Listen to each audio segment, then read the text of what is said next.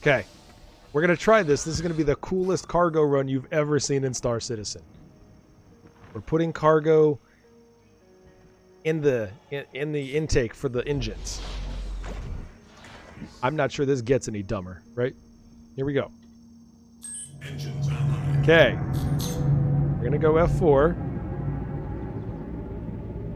Okay.